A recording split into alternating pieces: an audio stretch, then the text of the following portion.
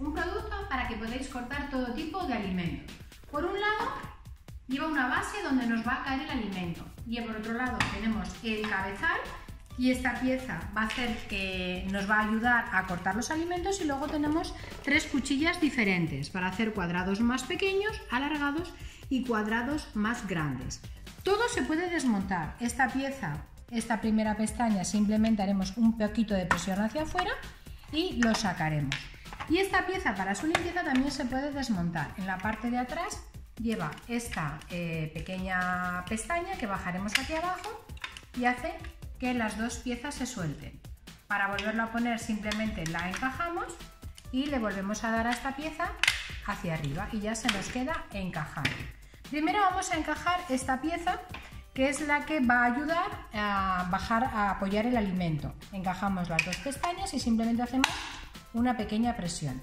Para poner las cuchillas por este lado no cortan, vamos a cogerlas siempre por el lado del protector para evitar cortarnos y por donde es, peligroso y hay que tener mucho cuidado es esta parte de aquí, que es la parte que corta.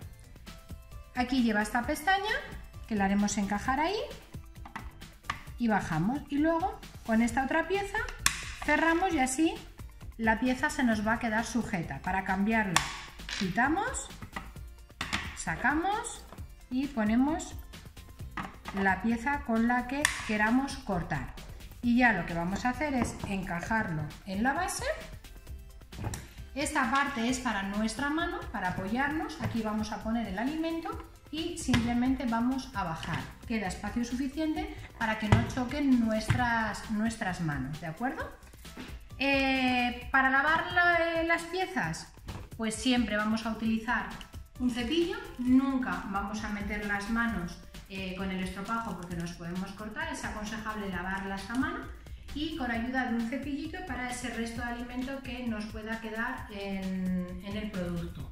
Una vez lavado, seco y así perfectamente a la hora de guardarlo podéis dejar una cuchilla puesta que al estar así cerrado queda protegido no nos vamos a cortar y las otras dos cuchillas yo siempre las pongo boca abajo para evitar cortarme, me caben dentro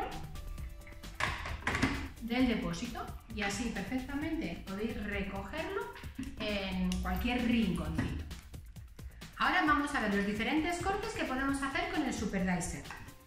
Tenemos colocada, en este caso, la cuchilla fina, por ejemplo, para hacer palitos y nos va a caer en el depósito. Si queremos podemos cortar dos o tres rodajas, colocarlas y así nos los va a cortar todos a la vez nos cae en el depósito, ¿veis? Y nos quedarían tipo palito de patatas fritas, pero más cortitas, que es para según qué recetas, pues nos pueden venir mejor. Luego, si cambiamos la cuchilla, veis que es muy sencillo, encajamos y acordaros siempre del seguro para que la cuchilla no se mueva. Ahora aquí, por ejemplo, nos van a salir cuadraditos pequeños, que es súper rápido, que podéis poner, ¿veis? y nos salen, fijaros, todo cuadraditos chiquititos. Si cambiamos, os van a salir más cuadraditos si la rodaja es más fina, ¿vale? Luego podemos cambiar por la cuchilla con los cuadrados más grandes, que por ejemplo esta sería ideal para, eh, por ejemplo, las patatas de una ensaladilla rusa, por ejemplo. ¿Las queremos más gordas? Pues fijaros, ponemos la loncha más gorda y nos van a salir trozos más grandes. ¿Veis? Dependiendo de cómo queráis que os queden de grandes. Así, fijaros lo rápido que podemos hacer una ensaladilla cortando todos los cuadrados Palitos grandes, pequeños que queráis.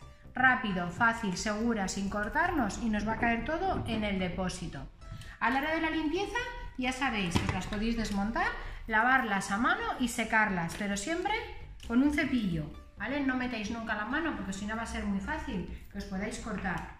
Y así, recogidito, como ya os he dicho antes, no os ocupa espacio. Espero que les saquéis partido.